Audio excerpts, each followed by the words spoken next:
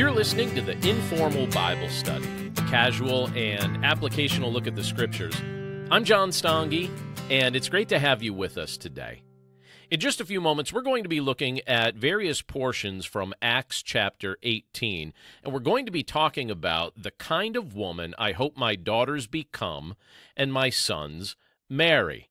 And I'm looking at this today, or I'm bringing our attention to this subject today in light of Mother's Day. So if you're a mom and you're listening to the podcast today, happy Mother's Day. I realize that our podcast is released on Monday, so Mother's Day was yesterday for most of you uh, here in the United States. But happy Mother's Day to those of you who are moms, and to those of you who have been born, happy Mother's Day to your mother. we all need to give God thanks for our moms. Now, uh, before we take a look at this portion of Scripture today, I just want to remind you of several quick things. First of all, we invite you, as always, to visit our website, which is desirejesus.com. And on our website, you'll find our blog and you'll find our online Bible studies. We have our bookstore and we have devotional resources. We have links to both of our podcasts, the Informal Bible Study, which you're listening to right now, and the Chapter a Day audio Bible. And we also have a link where you can sign up to receive our weekly newsletter. We send our newsletter out every Tuesday. And our newsletter is just a quick word of encouragement. We have a brief devotional in it. We also have some links to whatever is new on the website. So you could find that all at desirejesus.com. And while you're on the website, we always love to hear from listeners. So be sure to send us a quick message. Let us know you're out there. And please let us know if there's a way that we can be praying for you. Now, as I mentioned just a few moments ago, today we're looking at Acts chapter 18, and we're going to be jumping around a little bit in this chapter. But as we look at Acts chapter 18, we're going to be seeing a name show up multiple times in this chapter, and that's the name Priscilla. Priscilla was someone that the Lord used during the era of the early church to minister to quite a few people. And she's brought up here in Acts chapter 18. And so, in light of it being Mother's Day, in light of the fact that we're celebrating godly women, we want to take a look at how the Lord used the life of Priscilla and some lessons that we can learn from that as well. So we're in Acts chapter 18. I'm going to start us off at verse 1, and I'll read down to verse 4. Then I'm going to jump to verse 18. Then I'm going to jump to verse 24. So this is what it says in the passage. After this, Paul left Athens and went to Corinth, and he found a Jew named Aquila, a native of Pontus, recently come from Italy with his wife Priscilla, because Claudius had commanded all the Jews to leave Rome and he went to see them. And because he was of the same trade, he stayed with them and worked, for they were tent makers by trade. And he reasoned in the synagogue every Sabbath and tried to persuade Jews and Greeks. Now let's jump down to verse 18 where it says, After this, Paul stayed many days longer, and then took leave of the brothers and set sail for Syria, and with him Priscilla and Aquila. At Cenchrea, he had cut his hair, for he was under a vow. And then we'll jump to verse 24 down to verse 26, and it says this Now a Jew named Apollos, a native of Alexandria, came to Ephesus. He was an eloquent man, competent in the Scriptures. He had been instructed in the way of the Lord, and being fervent in spirit, he spoke and taught accurately the things concerning Jesus, though he knew only the baptism of John. He began to speak boldly in the synagogue, but when Priscilla and Aquila heard him, they took him aside and explained to him the way of God more accurately. Let's pray.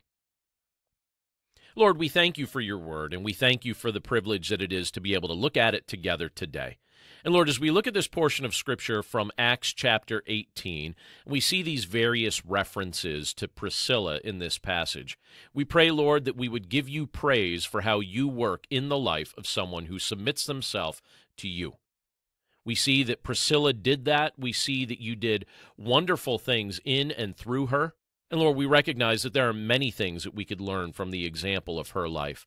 So, Lord, as we walk with you, we pray that we would also profit from godly examples like Priscilla, and we thank you, Lord, for the moments that we have together today to take a look at what you reveal about her life in Acts chapter 18. We love you, Lord, and we thank you for all of these things. In Jesus' name, amen. When you become a parent, a curious change takes place in your life. You begin thinking about yourself less, and a large percentage of your time and emotional energy is invested in the care and well being of your kids. It's a healthy but difficult process to endure because along the way, you also go from being their hero who can fix everything and can do no wrong to being the target of a decent amount of complaints and critiques. Now, somewhere along the way, however, I'm told that your kids start liking you again. And my understanding is that that's primarily when they start having kids. So I guess that's something I have to look forward to someday. But I regularly tell my children that I'm praying for them. And there really isn't a single day of their lives that I haven't prayed for them, not because I'm being forced to do that, but because the Lord compels my heart to do so. The Lord compels my heart to pray for them. The Lord has blessed my wife and me with two daughters and two sons, and we frequently pray about their spiritual growth, their physical safety, and their future marriages. Along the way, we do our best to impart biblical wisdom to them in the hopes that they will receive it and adopt it as their own. And when I look at Scripture, I see many examples of people who trusted in Christ and used their lives to serve and worship Him. Many of those examples are godly women that we would all do well to learn from. And one such example is a woman who was part of the early church and partnered along with her husband with the Apostle Paul in his church planting ministry. And her name was Priscilla.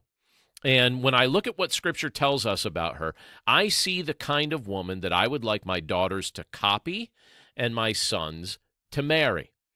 So let's take a look at some of the interesting things that Acts chapter 18 reveals to us about the life and the character and the faith of a godly woman like Priscilla.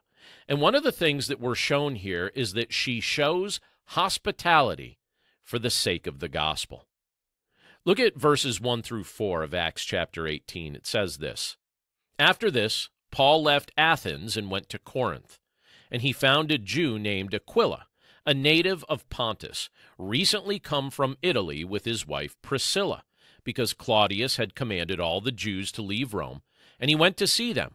And because he was of the same trade, he stayed with them and worked, for they were tent makers by trade. And he reasoned in the synagogue every Sabbath, and tried to persuade Jews and Greeks. Now, if you were going to plant a church, where do you think you would go to do that? Years ago, I knew a man who said he was called to pastoral ministry. And when he was asked about where he believed he was being called to serve, his answer stressed that he only felt led to go where his pay would be high and his life would be cushy. Now, he didn't use the word cushy. Uh, that's my description of what he said. But that's what he wanted high pay, cushy lifestyle. And when I look at what Scripture tells us about the Apostle Paul's ministry, I see a very different mindset from that. If you wanted to experience a challenging context in which to do ministry, Corinth was the type of city that would give it to you. It was a city that was known for its rampant immorality and idolatry. Uh, it was a place where many people grew wealthy through trade, and it was also a city filled with prostitution. Now, at the time, to be called a Corinthian was often meant as an indicator that you were an immoral person. And that's where Paul chose to spend a year and a half preaching and teaching the gospel.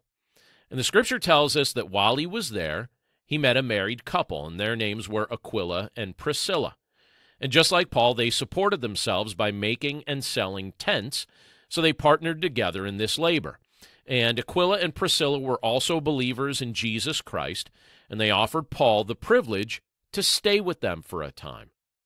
This, by the way, was an important way that believers of that era would help traveling speakers when they would visit a community to come and proclaim the gospel. They'd give them a place to stay, and they'd give them some food to eat. It reminds me of what we're told in 1 Peter 4 9, where it says, Show hospitality to one another without grumbling. That's something that we as believers are called to do. That's to be a pattern by which our lives are lived out. Now, showing hospitality is not always an easy thing to do. It's something that can be tolerable for a short period of time, but can grow increasingly more difficult when it stretches on for a longer season. And I'm sure that it was a challenge at times to graciously host Paul for a year and a half, but for the sake of the gospel, Priscilla allowed this to take place in her home. As a woman who loved Jesus and wanted to contribute to the efforts to make Christ known to others, she showed hospitality for the sake of the gospel. Now, this chapter tells us something else that we would all do well to notice, but I think it's something that godly women in particular would benefit from the example of. And in verses 3 through 4 of Acts chapter 18, it shows us that she wasn't afraid to work with her hands. Let me reread those verses. They say this And because he was of the same trade, he stayed with them and worked, for they were tent makers by trade and he reasoned in the synagogue every Sabbath and tried to persuade Jews and Greeks. When I was growing up, I was amazed at my grandmother. Her name was Ruby Huffman, and I was amazed in particular by her hands because early on I noticed that it didn't seem to bother her to run her hands under water that seemed way too hot to touch. I was fascinated that that didn't seem to disturb her to do that. She didn't have a dishwasher, so I guess her hands grew used to the water temperature after washing dishes for her family for so many years. She also worked in a boot factory in Wilkes-Barre, Pennsylvania, helping to sew and manufacture boots and shoes for quite some time. My grandmother's hands were strong, and I was surprised when I also realized that she had no discernible fingerprints. Imagine that. Her her fingertips were just smooth. You couldn't see a fingerprint or feel a fingerprint there. And the work that she did over the course of her life, it basically seemed to wear her fingerprints off. Now, I'm glad she didn't use that advantage to pursue a life of crime, but she didn't have fingerprints. And when I look at a portion of scripture like this, I wonder what Priscilla's hands looked like. Were her hands strong? Were they calloused? Did she have discernible fingerprints or did she not? Could you figure out how she made a living just by looking at her hands? I point that out because this scripture tells us that Priscilla worked with Aquila and with Paul making tents. It doesn't just indicate that Aquila was a tent maker. We're told that as a couple, they made tents together. This is useful to notice because it's clear that Priscilla didn't flutter around like she was a princess. She wasn't afraid to work with her hands. It wasn't beneath her dignity to engage in manual labor. And I believe she displayed a mindset that godly women of every era should notice. Families benefit from this kind of mindset, and so does a local church. Priscilla was a true partner who was fully invested in the ministry entrusted to her, and she wasn't timid about working with her hands.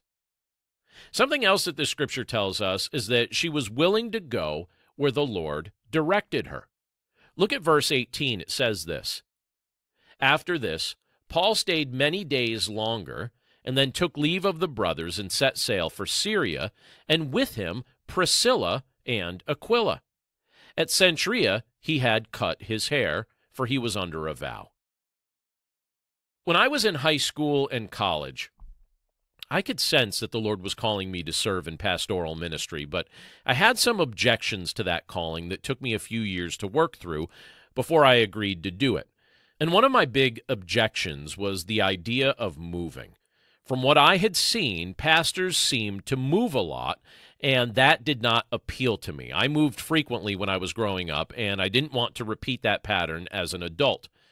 Since becoming a pastor, I'm grateful that my family has not moved frequently.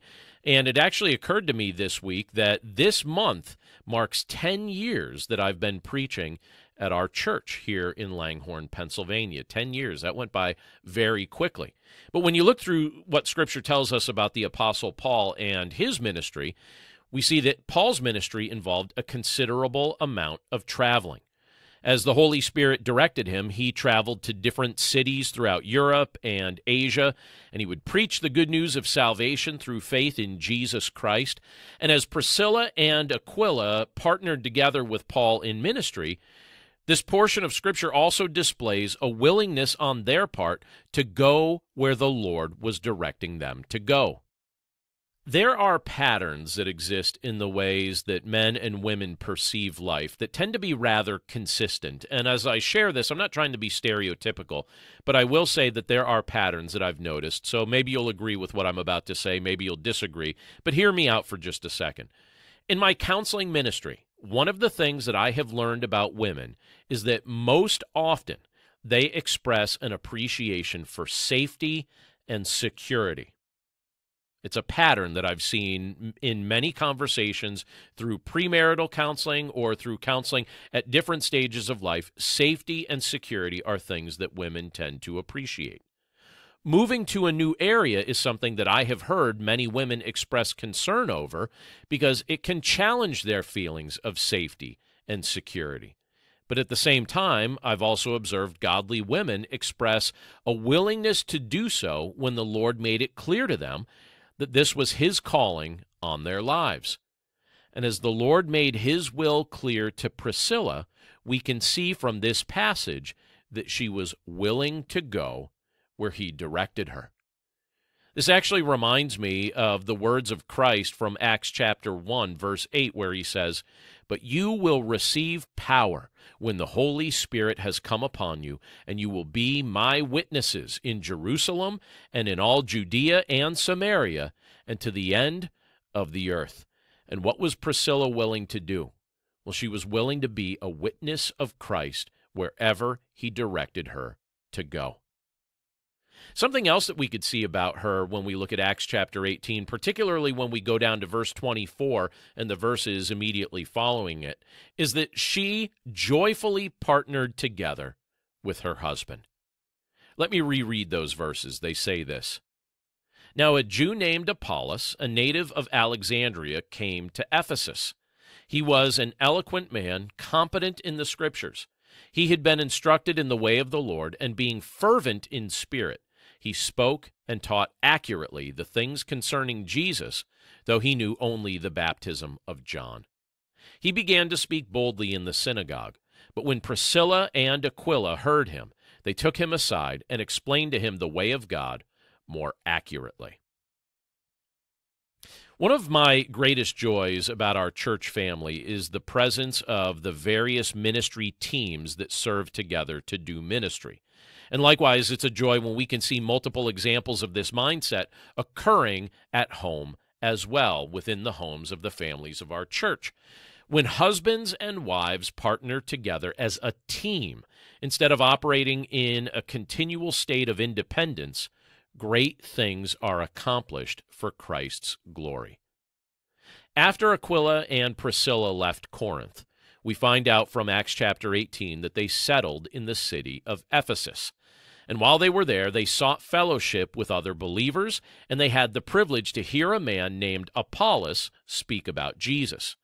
Apollos was apparently a gifted, impressive, and eloquent speaker. And while he taught about Jesus and expounded the scriptures accurately, there were still a few things he needed further instruction in. The impression we're given is that Apollos may have been delivering a, a, similar message of repentance that John the Baptist had preached, and Aquila and Priscilla likely took the time to connect more of the dots for Apollos by helping him come to a deeper understanding of the significance of the life, death, and resurrection of Jesus. Please notice yet again that the scripture provides another great example of Priscilla's desire to partner with her husband. They worked together, they traveled together, they worshiped together, and they discipled together. Without a doubt, there was a high degree of love, trust, and respect present in their marriage relationship. She joyfully partnered together with her husband. And one last thing that we can see from this portion of Scripture is this she looked for opportunities to invest her wisdom in teachable people. Again, let me reread verses 24 through 26. It says this Now a Jew named Apollos, a native of Alexandria, came to Ephesus. He was an eloquent man, competent in the scriptures. He had been instructed in the way of the Lord, and being fervent in spirit, he spoke and taught accurately the things concerning Jesus, though he knew only the baptism of John. He began to speak boldly in the synagogue. But when Priscilla and Aquila heard him, they took him aside and explained to him the way of God more accurately. So, again, one of the last things I want to point out about Priscilla is her willingness to invest the wisdom the Lord gave her in teachable people. Growing up, my other grandmother, Ruth Stange, was one of the wisest women I knew. And her father used to invest his wisdom in her, and she absorbed it all. And then she tried to invest it in me and the rest of her grandchildren. The way I see things, and many of the decisions I make as an adult, can be tied directly back to the wisdom that my grandmother invested in me, particularly during turbulent seasons of my childhood and adolescence. She always had a word of wisdom that helped me out. And I suspect that the Lord used Priscilla in a similar manner for many people during the era of the early church. She was able to invest her wisdom into Apollos because he was teachable and receptive. Her counsel bore fruit. As Apollos continued to preach, he was able to give others a more clear and a more accurate portrayal of who Christ was what Christ did and what Christ continues to do because Priscilla took the time to share with him the wisdom the Lord had blessed her with. A godly woman takes the time to invest wisdom into the lives of others for Christ's glory. All that to say, I realize that my daughters are quickly transitioning into their adult life right in front of our faces, and I want them to glean from Priscilla's example because I believe it's also the pattern that they've had the privilege to observe in their mother, my wife, as well. And I know that the day will soon come when my sons will choose someone to marry. So I regularly pray that the Lord directs them to women like Priscilla because she was intentional about blessing her husband, about blessing others, and living a life of faith that brought Christ glory. If I'm blessed one day with daughters in law like that, I'll be quite grateful. And when you look at this portion of Scripture, we can see an example of godliness that the Lord displayed through the life of Priscilla. She showed hospitality for the sake of the gospel. She wasn't afraid to work with her hands. She was willing to go where the Lord directed her. She joyfully partnered together with her husband, and she looked for opportunities to invest her wisdom in teachable people for Christ's glory and for the sake of the spread of his gospel.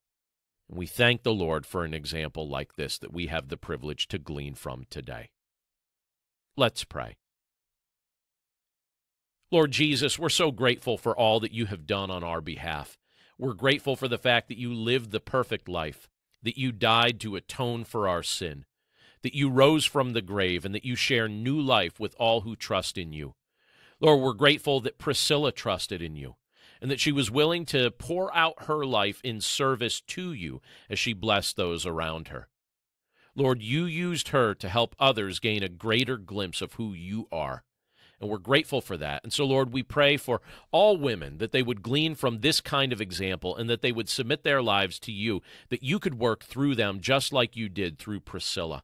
Likewise, Lord, we pray for men that they would learn to value this kind of woman that the mindset and the heart and the faith that's present in a woman like Priscilla would be something that they would learn to appreciate. And that as we consider marriage and as we pray about those that our children or our grandchildren will one day marry, we pray, Lord, that, that our grandsons and our sons would marry women like Priscilla and that you would be glorified in their households as a result. Thank you, Lord, for your word. Thank you for the privilege to be able to look at it today.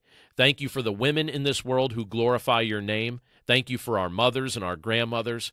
And thank you, Lord, for who you are and for how you operate in our day to day lives. We commit ourselves to you today, and we pray this all in Jesus' name. Amen. Thanks again for listening to the Informal Bible Study. As I mentioned at the start of the episode, we invite you to stop by our website, desirejesus.com, and check out all the different resources that we have there. If you're not on our email list, be sure to sign up for that so that you could get the brief word of encouragement that we send out every Tuesday. And we'll also let you know if there's anything new on the website that we want to point your attention to. But that's it for us today. We hope you have a wonderful day and a wonderful week. And we look forward to catching up with you again right here next Monday. Take care.